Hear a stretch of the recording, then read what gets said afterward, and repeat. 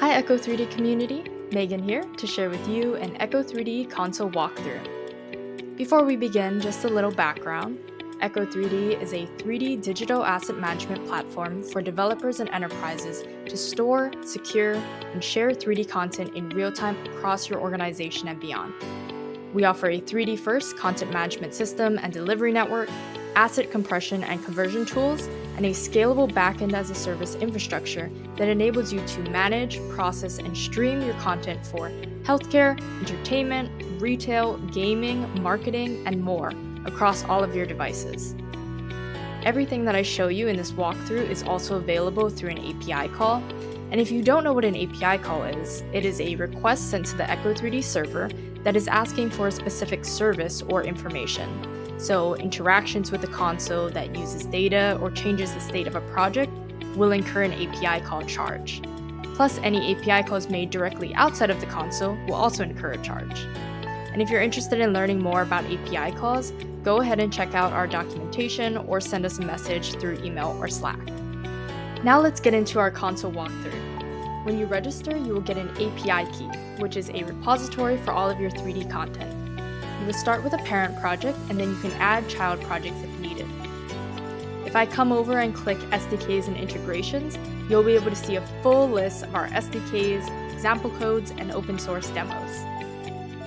On our content page, you will be able to upload and search for assets. When you click the plus button, you can upload assets directly from your computer or search through over 700,000 of our free assets in the library. Once your asset is uploaded, it will populate a content card that looks like this.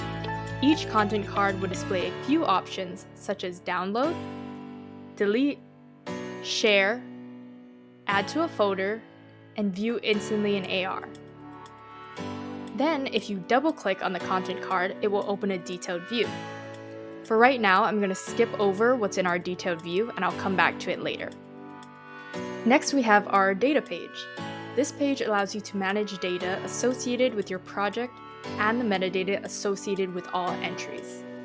The global database contains data entries that are applied at a project level or to all content entries in the project and metadata is a set of data entries associated with a single content entry. As you can see, we have a bunch of classes right out of the box for you to choose from, or you can create your own. Our next page is the WebAR Customizer. Here you can add background images, audio, Android camera capture, QR codes, and different buttons and logos. Next is the model editor. You can choose which asset you want to make edits to below on the carousel. On the second tab, you can edit things like lighting, animations if you have any, and add hotspots. For example, I'm going to add leather here as my hotspot. The next tab allows you to create variants, swap textures, change emissive and occlusion maps, and easily edit base colors like how I'm doing right now. Our Access page comes next. On this page, you are able to set permissions for your projects. If you set your projects to closed, users and viewers must request access in order to edit or download assets. Users only means users are able to edit or download, but viewers still need to request access. And open means that all users and viewers can edit and download assets freely. If you have any requests, they will show up under this Request tab. Project admins can then reject or approve them. If you choose to reject the request, you will also have the option to add a note. And in order to share your projects with others, you can scroll down here, hit the plus button, and type in their email. Then you can set the access level for this person. Please note that the email you add has to be associated with an Echo 3D account. Meaning, if you add an email that isn't linked to an Echo 3D account, whether that be a free or paid account, that person will not be able to access your project. On the locations page, if you have any of your assets linked to a specific location, they will show up on this map. And if you're wondering how you can target assets, you can go to the content page and double click on the content card to open the detailed view.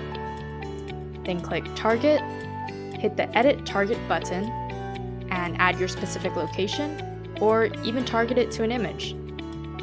Then, once you add your specific location, it will show up here on the map.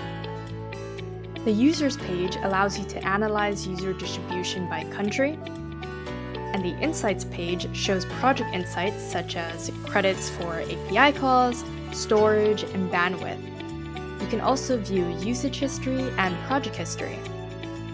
We also have version control, and you can access this on the content page by double-clicking on the content card to see the detailed view. Then you can click on Versions and hit the icon to revert back to old versions of your asset. Another cool thing you can do on the detailed view is set up your entry hierarchy. This feature allows you to assign parent and child assets for projects. Once you open your detailed view, you will find at the very bottom entry hierarchy. From there, you can start assigning child assets like how I'm doing right now. And if you want to delete any assets, all you need to do is click the X. Also, just note that a cyclical hierarchy structure is not supported, and adding relationships that would result in such a structure will be rejected. Now we come over to our Convert and Compress page. This page allows you to convert to different file formats and optimize your assets. We have our Echo 3D Ultimate Compression, where your asset will go through extensive compression, which dramatically reduces file size and only supports a GLB output and we also have our open source Draco compression. You can also polyreduce or resize your asset manually here. If you ever get stuck and need a little help, our tutorials page has a bunch of demos. You can also find a link to our GitHub and full documentation here. And if you ever need immediate help, or you just want to say hi to the rest of the Echo 3D community, feel free to join our Slack channel. Lastly, we have our settings page. On the subscription tab, you can manage your subscription plan and view your project usage and monthly limits. The Security tab has some project settings like secure access and user location. You can also enable your secret key here. And finally, our profile page allows you to add an avatar, add payment methods, change your password, and link your Sketchfab account. You can also tell us a little about yourself by filling out your role and industry so that we can get to know you better. To get access to the Echo 3D console, sign up for a 7 day free trial today at echo3d.com.